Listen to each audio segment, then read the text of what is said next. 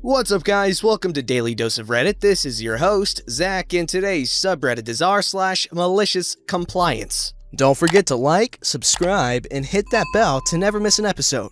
This story's called Staffing Miscalculations, Not My Problem. I'm doing a bit of spring cleaning on my computer, because we have time for that sort of thing now, deleting some old documents, and boy did I find a doozy. Settle in and apologies in advance, but this is going to be long. Two years ago, while I was still at uni, I worked at a restaurant for a while that sadly closed down because the owners had gotten too old to maintain it. I looked for a new job and quickly found one in another restaurant, which belonged to a big chain and was running as a system catering business instead of a small family owned casual dining thing that I was used to. But it would pay the bills and make do, and I had no problem adapting to a new system. The team around me was incredibly nice and sweet, and working with them was actually kinda fun. However, my enthusiasm about the job vanished entirely only weeks after I had started there for two reasons. Number 1. The standards, or rather their absence.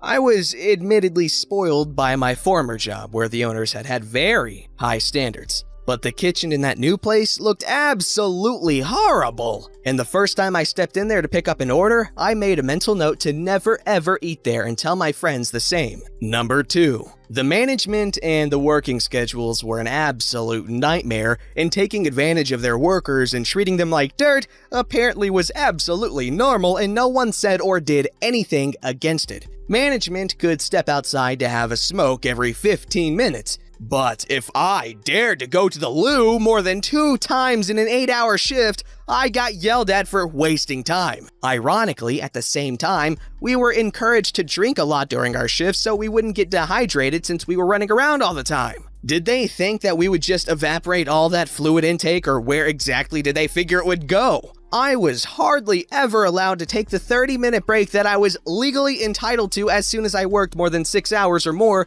with the argument that we're too busy right now to allow any breaks, but it was, nevertheless, always deducted from my hours on the shift sheet, and therefore my pay, which I was forced to sign off after every shift with the manager present as per company policy. Even though the information given about the hours I had actually worked were false, not signing was threatened to be considered insubordination in grounds for firing. Luckily, I always made a protocol for myself at home with the actual data. On top of that, it took me 30 minutes to commute to my workplace with public transport, and it routinely happened that I either got a text canceling my entire shift when I was literally 5 minutes away from the restaurant, or, which happened more often, that I came in to work as scheduled on the shift plan and was told to sit down at the bar until they had figured out whether or not they had work for me to do. I usually spent about two hours at the bar on average until they sent me home again for the day. Unpaid, of course. Once they made me sit for four entire hours, refusing to let me leave,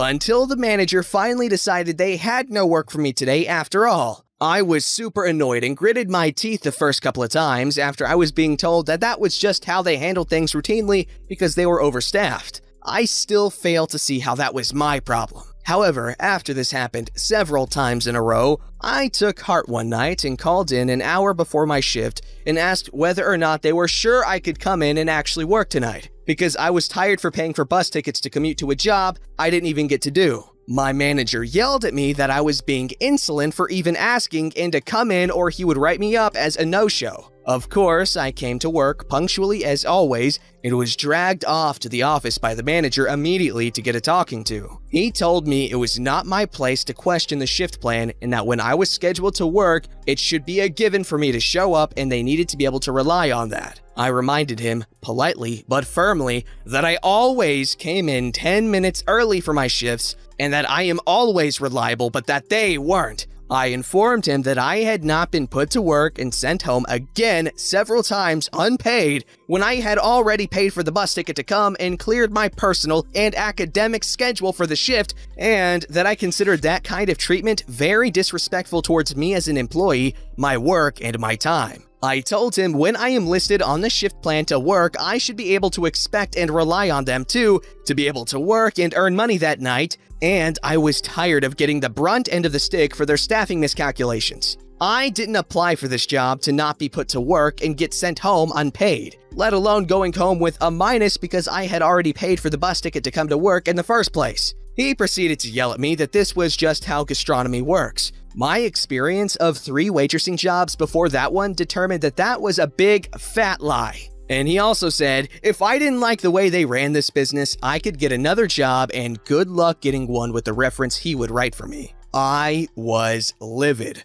but I pulled through my shift and decided on my way home that I was going to do some homework that very night because this could not possibly be legal. So, after about two hours of research about workers' rights laws and business regulations in my country, I had come up with a whopping four pages of laws and regulations that they were actively and routinely breaking, and which I could prove they were breaking thanks to my phone records, shift plans, and staffing coordination was done via WhatsApp. If that wasn't leverage, I don't know what is. If I wanted to, I could have gone to the respective authorities and get that shack shut down for good. But I decided I would not yank all my lovely colleagues out of work since most of them depended on that job, but that I'd rather look for a new job and bide my time until then. Here's the real kicker though. What my employer evidently either didn't know or chose to ignore was a neat little law in my country that is called default of acceptance which basically means that if you're scheduled for a shift by your boss and you show up on time ready to work, but your boss chooses not to put you to work while you are there, you are still entitled to be paid for that shift. Because you fulfilled your contractual obligations as an employee. You showed up, offered your work and your time as demanded by your boss through the shift sheet, and the lack of work is not your fault. For me, in my situation, it meant I was entitled to be paid for every single shift they had me sit at the bar and send me back home again without giving me anything to do. Then I looked over my carefully kept protocols, detailing exactly for how many hours I had been scheduled to work which day, how long I was there, how long they made me wait, and who had sent me home that day. And I did the math and got the biggest grin you could possibly imagine. So I sent out some applications and meanwhile kicked off the malicious compliance phase. I did not call in and ask whether or not I could please come in and work, and I would shut off my phone for the 30 minute commute to work so they would have no chance to cancel me last minute again before I arrived. If I was on the shift plan, naturally I'd be there, I maliciously complied by playing the dutiful and downbeaten employee who had accepted their miserable fate and was grateful to have a job at all. My manager was very pleased and smug, obviously thinking he broke me. Little did he know he had another thing coming his way. I came to work dutifully without question, never complained about being told to sit down and wait again, and on top of that, I made a point of always bringing some homework for uni, which the petty little passive-aggressive lady that I am would demonstratively do while I was expected to sit at the bar, twiddling my thumbs and waiting to have work bestowed upon me. I had decided if I had to comply with this nonsense for some more time, I might as well use that waiting time to my benefit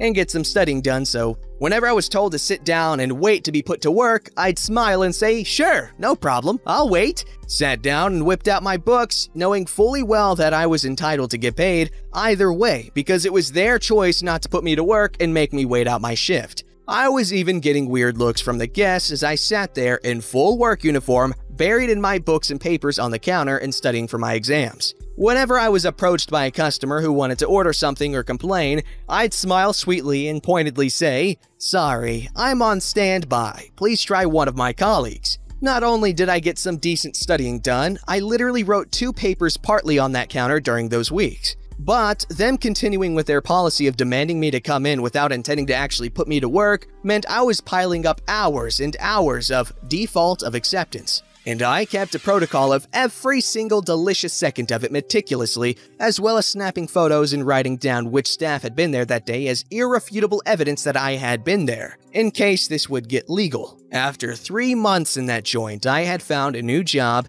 and when I came to work the next day after my successful job interview at the next place, I personally handed my manager my termination letter with my usual two weeks' notice. He looked very puzzled at that fat envelope I handed him as an addendum. I had attached the four pages of workers' rights regulations and business laws they were breaking, a copy of my working and waiting protocols of the last three months, a table overview of all the default of acceptance hours I had accumulated in those three months, and all the 30 minute breaks I hadn't been allowed to take, plus which superior had denied me to take them that day, and therefore was entitled to get paid for, and a final total of default of acceptance hours and the resulting sum of money I was legally allowed in wages. Underneath that, I had written I expected that money to be added to my last paycheck and that I would consider legal action otherwise, since the law was clearly on my side. My manager took the envelope into the office while I got to work,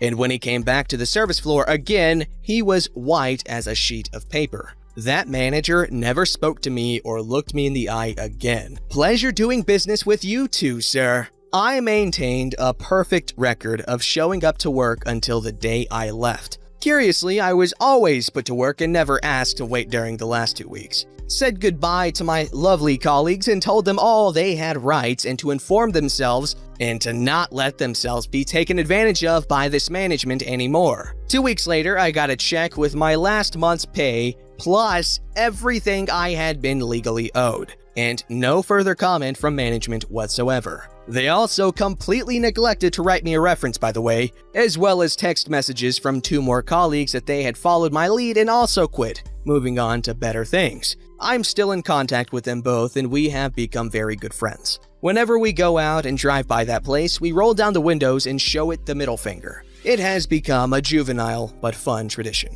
I have done some bad jobs in my time, but that one was by far the worst. Thanks for reading, hope you enjoyed. I did enjoy this story, very good writing by the way. Also, kudos to you for actually taking the time to keep all those notes and stuff. If I were to freaking be in that position, I would have definitely been way too lazy. I hate taking notes, even if it will gain me thousands of dollars. I am I hate notes. I, I just hate them. I'm obviously joking. I'm not that easy, guys. All right, this story's called The Deadline is Midnight. So, I'm dyslexic before anyone calls me out on grammar or spelling. I'm one of the unfortunate people to be in a key worker position during this situation in the UK, and this happened today. With it being the end of the financial year, everyone was trying to do last minute payments into their ISAs, and all day we were bombarded with customers wanting to pay money in, open accounts, etc. Now, recently, due to how many people are trying to hide their money, our systems have been a little messed up due to the increased traffic to all the call centers,